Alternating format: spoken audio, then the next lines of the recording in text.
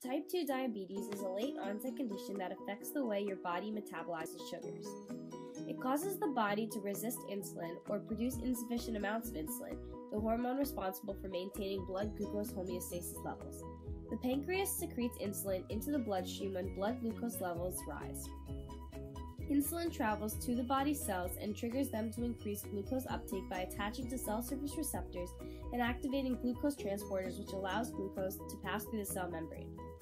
When the body does not produce insulin, or if the cells are resistant to insulin, glucose cannot be converted to energy by cells and blood glucose levels take longer to return to homeostasis. Common symptoms include excessive thirst, frequent urination, excessive hunger, fatigue, blurry vision, and slow healing of cuts. Later symptoms include blindness and nerve damage. Metformin, a biguanide, is the most common medication to treat type 2 diabetes. It increases peripheral insulin sensitivity and decreases glucagon activity and intestinal absorption of glucose, which reduces the amount available to enter the bloodstream.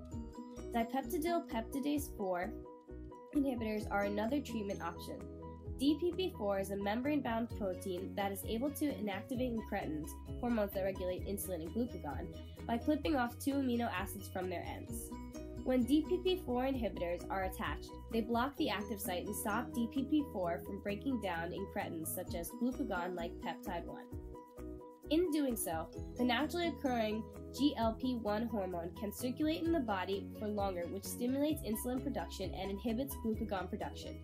Glucagon and insulin are antagonistic hormones that work in opposing ways to regulate blood glucose levels. So, by inhibiting glucagon, it prevents the liver from breaking down glycogen into glucose. Thanks for listening. We hope you enjoyed.